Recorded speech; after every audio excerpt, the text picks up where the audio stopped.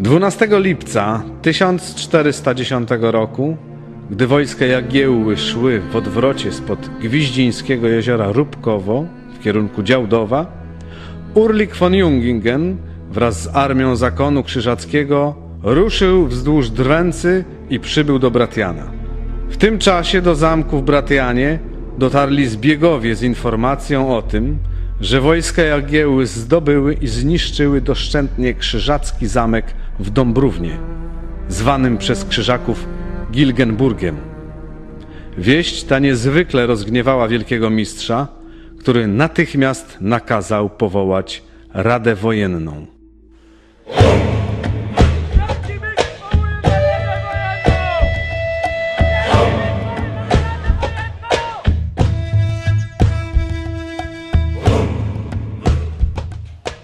Na naradę przybyli dostojnicy i dowódcy w osobach. Wójt bratiański Jan von Redern,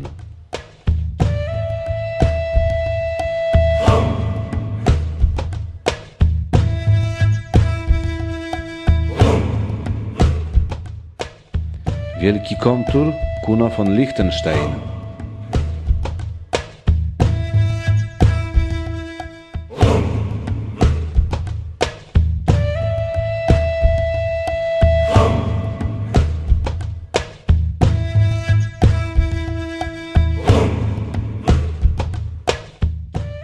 Wielki marszałek i komtur królewiecki Fryderyk von Wallenrode.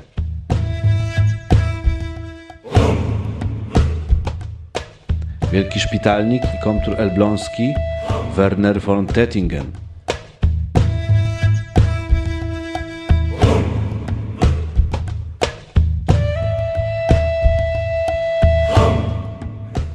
Wielki szatny i komtur dzierżgonia Albrecht von Schwarzburg. Komtur radzyński Mikołaj von Melin.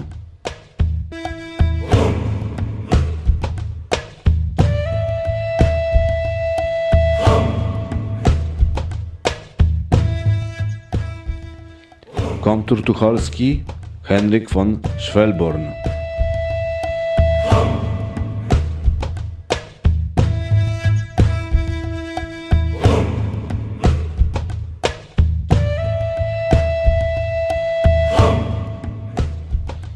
Wielki skarbnik Tomasz von Merheim.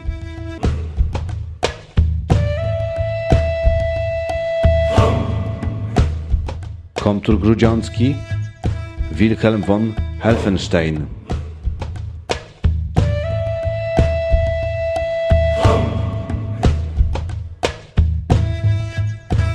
Komtur nieszawski brat Gottfried von Hetzfeld. Komtur chełmiński Eberhard von Ippenburg.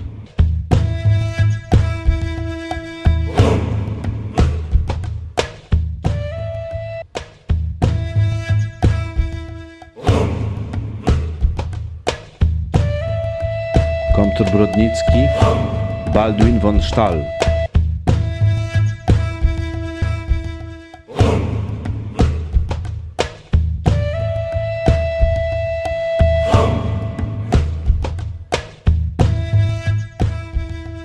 Komtur toruński Johann von Sein. Komtur ostrucki Gramat von Pisenau. Komtur gdański brat Jan Schonenfeld.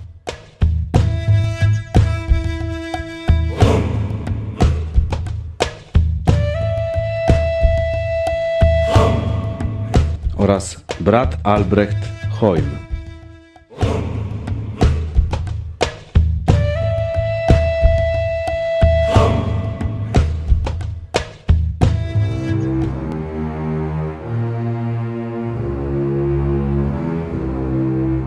Wiecie wszyscy, że Jagiełło niespodzianym najściem zdobył Gilgenburg i leży obozem nad jeziorem, chcąc się posuwać dalej. Wiemy, wiemy!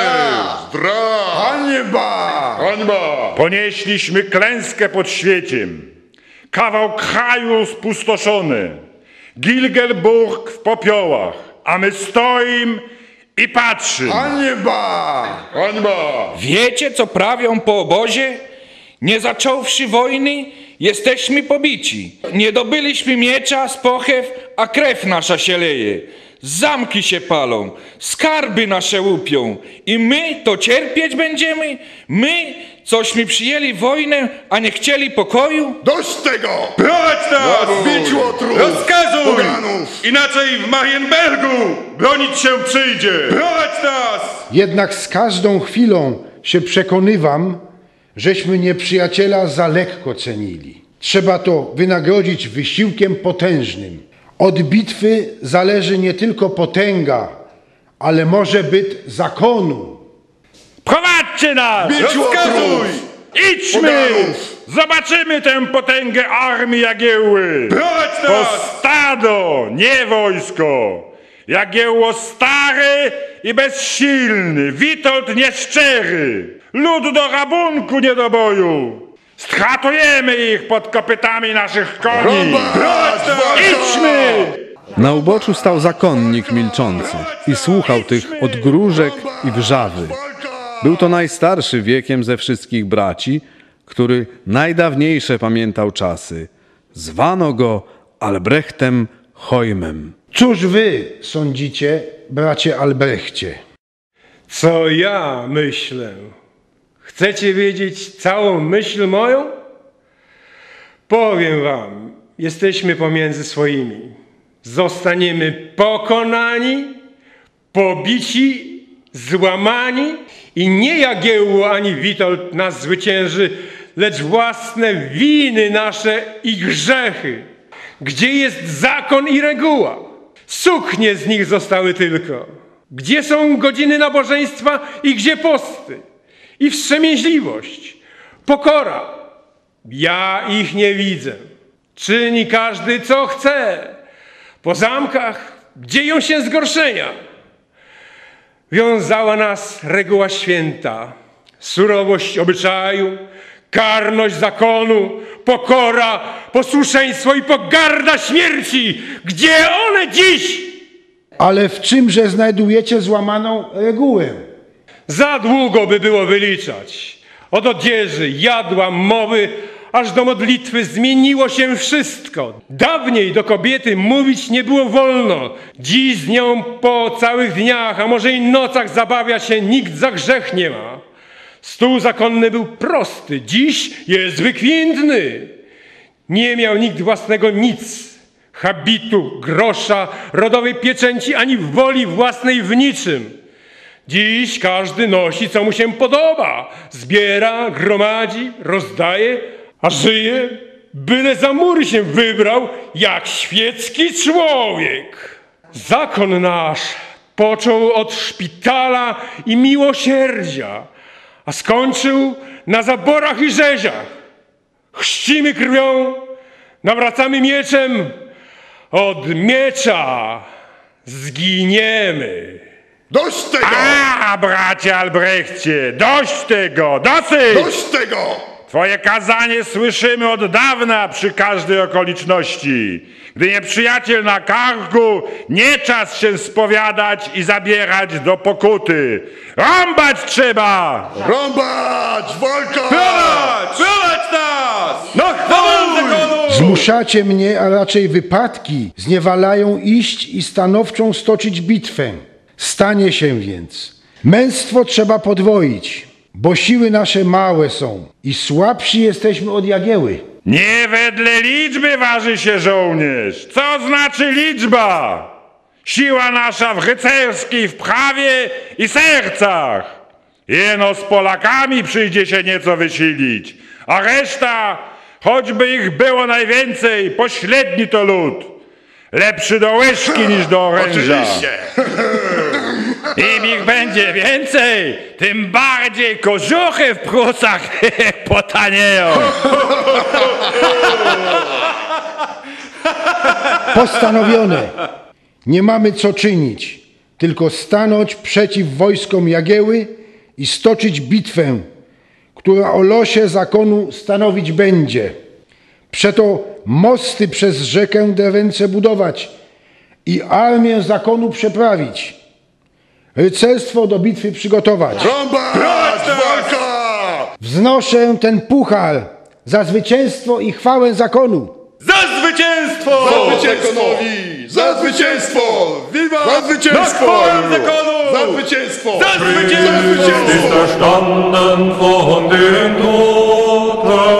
Im Tode bezwang er den Tod und schenkte den Entschlafenen das Leben.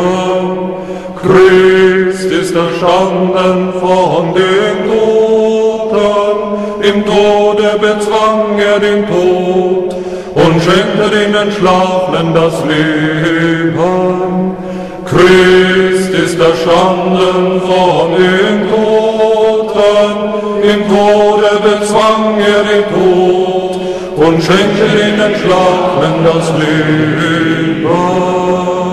To była ostatnia decydująca narada wielkiego mistrza z dostojnikami zakonnymi.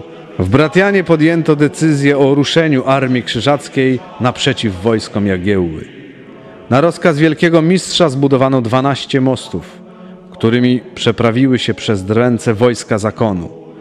Było to 51 chorągwi, około 16 tysięcy rycerstwa konnego, 6 tysięcy pieszego i artylerzystów oraz 5 tysięcy czeladzi. Wśród nich znajdowali się również goście zakonu z Niemiec, Szwajcarii, Śląska, Pomorza oraz Inflant i Francji. 26. chorągwią zamku Bratian i Nowego Miasta dowodził wójt bratiański Jan von Redern. Uczestnicy narady wznosili puchary na chwałę zwycięstwa. Dziś wiemy, że to była wielka klęska zakonu krzyżackiego, po której nigdy już nie odzyskał on swej potęgi. Największa bitwa w Europie średniowiecznej przyniosła zwycięstwo Polsce. Inscenizacja zatytułowana Ostatnia Wieczerza przygotowana została na podstawie tekstów źródłowych oraz powieści Józefa Ignacego Kraszewskiego pod tytułem Krzyżacy 1410.